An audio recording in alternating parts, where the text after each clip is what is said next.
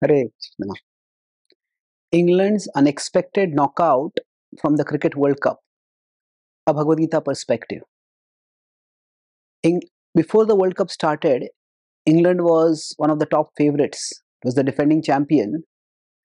And now England has been consistent only in two things in their inability to perform and their inability to explain why they are unable to perform. Even commentators are bewildered. Various explanations have been offered and considered inadequate.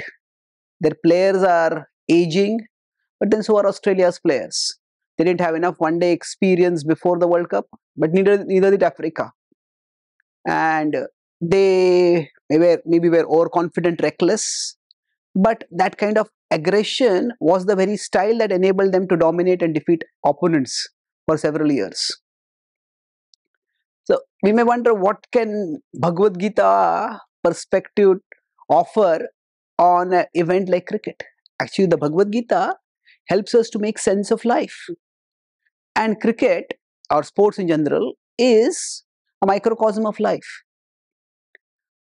The Bhagavad Gita states that when we are not able to explain things in terms of immediate causes, when actions that are expected to produce results don't produce those results, then we need to look at the bigger picture.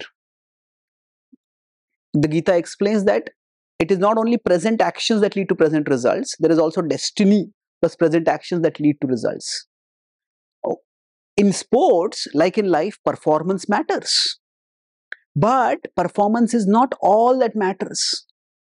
A batsman might be playing very well, but maybe when the batsman is the non-striker's and the bat the, the other striking batsman hits and this batsman is caught outside the crease and run out or something like that.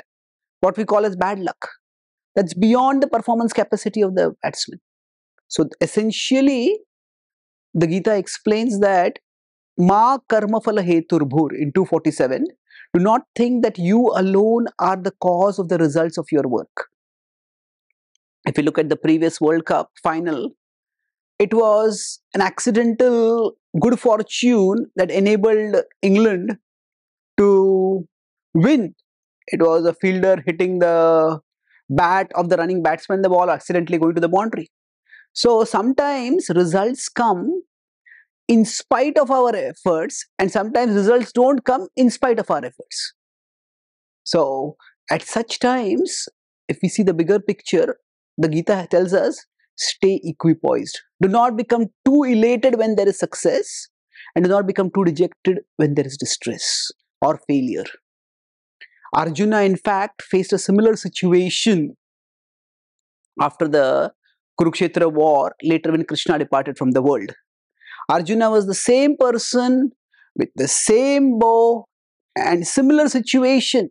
When he was fighting, his arrows just fell short inexplicably. Similarly, we could say the same English cricket team, the same event, and the similar playing style, but they are falling short. Of course, a cricket match and a Dharma Yuddha are not comparable, but in principle, here the point is there is no logical, easily explainable factor for addressing the situation. So Arjuna understood that all ability ultimately comes from God. Paurusham Nrishu. And when that ability is given to human beings, they can dazzle with astonishing performance. And when that ability is withdrawn, then even the best of players can go out of form, even when they don't want to go out of form. So Arjuna was able to take shelter of Krishna and Krishna's wisdom and thereby by found find solace even in the presence of distress. So we can pray that the English cricket team and anybody who goes through such situations when they face unexpected and inexplicable setbacks or failures, that they too can find shelter in the wisdom of the Bhagavad Gita and be able to be steadfast in happiness and distress, success and failure. Thank you.